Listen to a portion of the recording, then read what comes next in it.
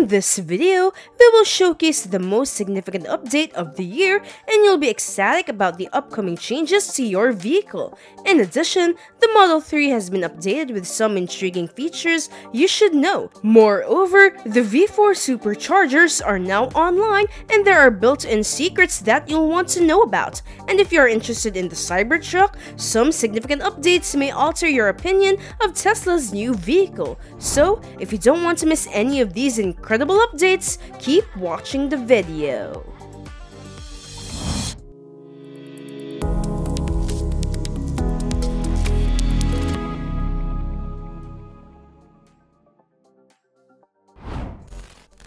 Understanding the impact of battery health on electric vehicle range. When it comes to battery range, one of the most direct factors that affect it as you use your electric vehicle over time is the battery's health. You might be concerned that after switching to an electric car, you'll have to spend a lot of money on a new battery within just a few years, which could make you hesitant to make the switch.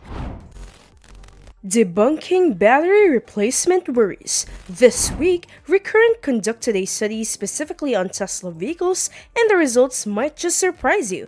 In reality, the impact of frequent supercharging on Tesla batteries isn't as significant as you might think. They conducted the study on over 12,500 Tesla vehicles, focusing on Model 3 and Model Y. According to the chart, the blue line represents vehicles that frequently use superchargers. In contrast, the green line represents those that only occasionally use superchargers. Now, the definition of frequently using superchargers here is when your vehicle spends more more than 90% of its time doing so.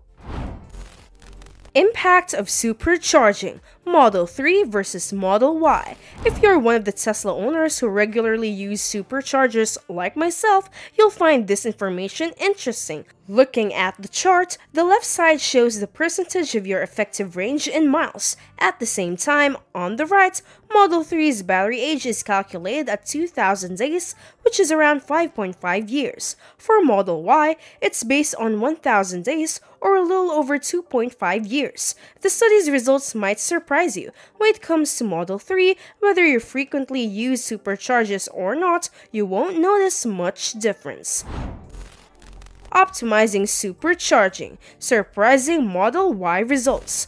Model Y, however, is quite impressive. After 1000 days, the effective range remaining for those who frequently use superchargers is even higher than for those who only occasionally use them. This likely relates to Tesla's recent efforts in optimizing supercharging battery performance. Interestingly, Model Y has just passed 1000 days and mileage is now over 42,000 miles or roughly 67,000 kilometers. The benefits of off-peak supercharging. If you're budget conscious, using superchargers during off-peak hours might be cheaper than home charging. Of course, whether the time saved is worth it depends on you. However, this report also serves as a reminder that rapid charging in extremely cold or hot conditions before your battery is ready can indeed stress the battery. So, for all of you Tesla owners, remember to use the Navigate Supercharger feature because your vehicle will automatically preheat or cool your battery pack to the optimal working temperature, which is crucial for battery protection. Elon Musk's vision. This report might change your perception of supercharging and battery lifespan. At least for you, it has eased some concerns. In addition, following Elon Musk's recent sharing of the full self-driving V12 Virgin's autonomous driving display in his Model X a few days ago, he expressed his excitement yesterday about how fantastic Tesla's autopilot is if you haven't experienced it. Furthermore, he has acknowledged more than once that Tesla should consider removing the FSD nag, which prompts you to regularly apply pressure to the steering wheel. NHTSA's inquiry into Tesla's autopilot, concerns, and requests. The National Highway Traffic Safety Administration, or NHTSA, has requested Tesla to answer questions about autopilot and provide documents despite not requiring recalls. The letter suggests concerns about overly relaxed drivers and potential accidents due to less attentiveness. NHTSA is requesting information on which consumers receive updates, why, and the number of accidents accidents or near accidents due to software updates, as well as the 2024 software update plan. Exploring Tesla's Elon mode and the future of self driving. Tesla has introduced a new self driving mode called Elon mode, discovered by hacker Green, which eliminates nag prompts and requires no touch to the steering wheel.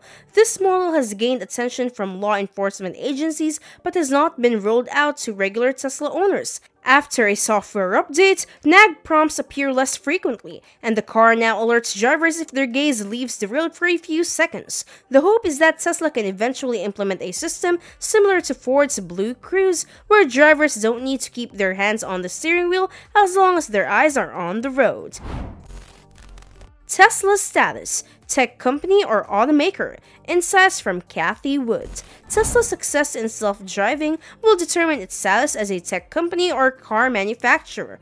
Cathie Wood suggests Tesla should be classified as a tech stock due to its potential over 80% profit margins. Tesla's stock has soared, and ARK's ARK Fund has surpassed its peak performance. Despite excellent analysts, ARK funds have lagged behind in their investment strategies compared to index investments. Beating the market is not as easy as it seems.